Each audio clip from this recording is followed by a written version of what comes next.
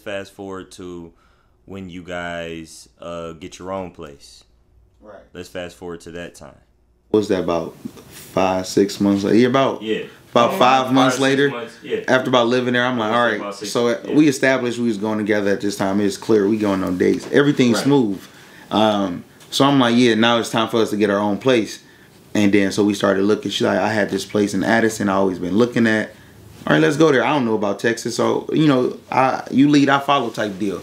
So yeah, we found this nice place in Addison, and then from there, everything like we both adventurous. So from there, we just started traveling big, like going multiple states. I'm talking about it's still summertime and Texas is always hot. So we going down to Houston, Vegas, Miami, California. We just traveling together and we just the vibe is just there at this time. We living together. It's about a year, like you said, about a year. A couple of months go by and we, we'd our, renewed our lease at our apartment. Done re revamped our apartment, and then we actually uh yeah you can get into more details on that. No, we we have yes. Okay, so I, I guess y'all trying to figure out like, dang, like what?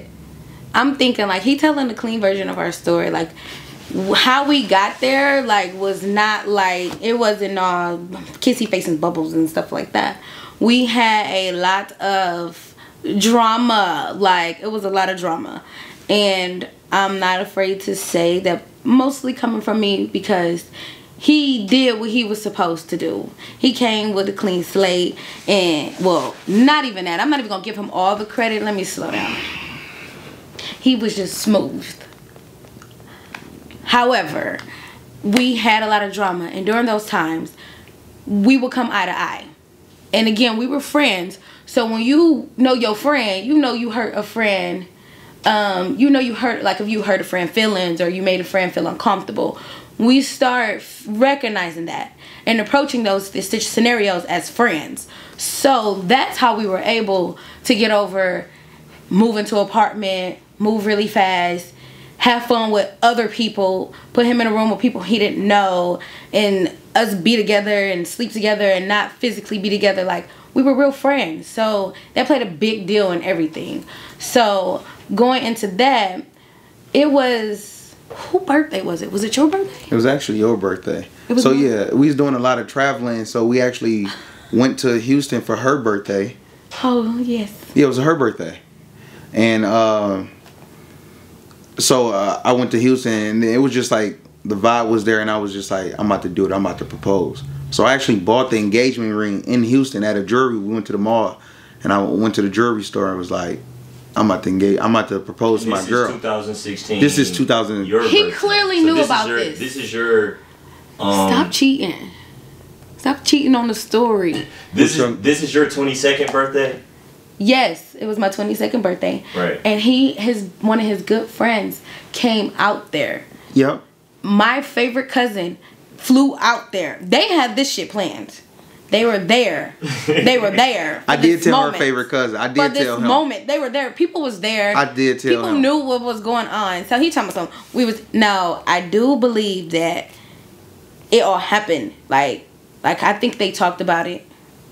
And you correct the story because it's your story. Yeah. I feel like they talked about it, but I just wanted y'all to know. It was always that in the air, He had it set up, and him and his friend just so happens that day went in the store together and purchased the ring. But his friend knew what he was flying to Texas Right. for. Right, and I did tell her favorite cousin. So yeah, and we was down there in Houston at the. Actually, we was in. uh We was at that uh park. What's the name of the um We was at the Galaxy, um, Galveston. Galveston Beach. Island? Galveston Island at the theme park, and she like just a backstory. She like Ferris wheels and like Cinderella stories and like those type of romantic things. So I'm like, it's her birthday. We here. I'm about to propose to her in front of the Ferris wheel. So I had to get dressed in a button up. It's 110 degrees. I'm in a button up. So everybody probably looking at me crazy. I'm gonna cry. But yeah. so I waited till we, uh, we we did the whole theme part. Waited till we got to the back to the Ferris wheel. Tell everybody like set up. I'm about to do it. And then sure enough, pulled out the engagement ring and proposed to her in front of like the whole theme part. And Everybody everybody started clapping. I wasn't expecting that. I was just kind of expecting our little group to kind of catch it on camera. But everybody just got up, started clapping, and so it was just like It was like for real, like a movie type of deal. When like, I say for real, the pigeons With the water behind flying you. off the Cinderella thing, like I was like, No, oh my god, like it like was on the yeah. beach with the like for real. It was it was nice. A true love story. It wasn't planned like like we didn't we didn't discuss like I would say like you know this is my husband, but it wasn't like it wasn't planned. So because I think he had to call my daddy that moment to ask him permission. You know how you're supposed to call before. Yeah. Yeah, He was so excited. yes, He had to wait. Like I'm like, we can't post this on social media. You gotta make that phone call first. buddy. I did have to call her pops. so it That's a was fact. it was all like we controlled the situation. Well, he controlled the situation, and I just was like, yes. Okay, so now you guys are engaged. Like, um, at this point, everything that you've maybe ever thought about each other, it's it's starting to become a reality. You guys have a, a real relationship. You have decided that you're gonna spend the rest of your lives together.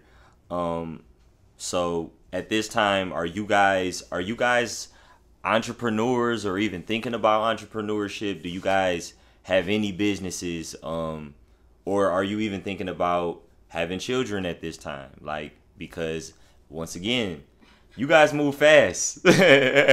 you guys move fast. Like it, it, it's or it's it's definitely organic. I can I can definitely feel it. Like you guys' relationship and everything that you guys have going on as far as like with your family, your businesses is it's very organic and well thought out.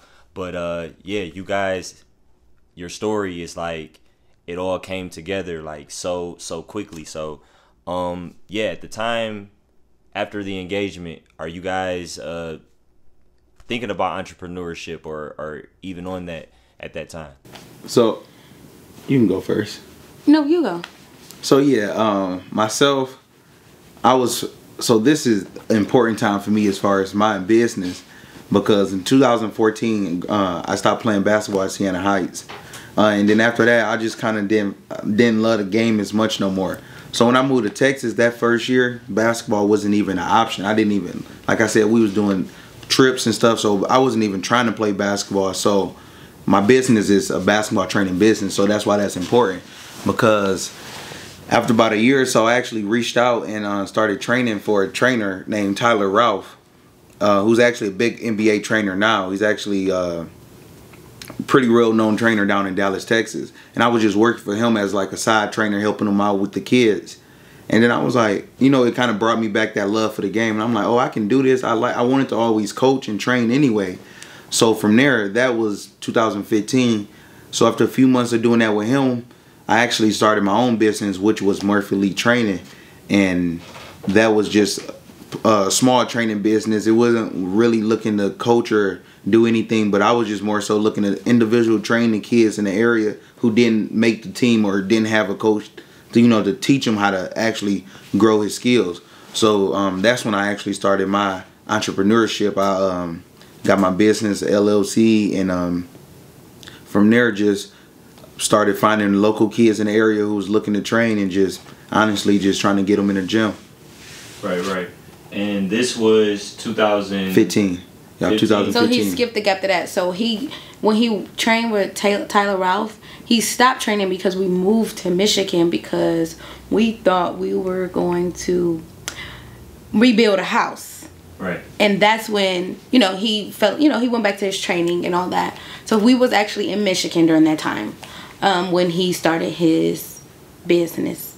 Right. Correct. And um, I was just working and supporting my husband in his business. Right. And of course, my thing was investing in the house because I'm like, we can get this house going and we can build a gym, we can do all this stuff. So in my head, I was more so speaking, my wheels was spinning, but I wasn't in the process of planning. I wasn't planning anything.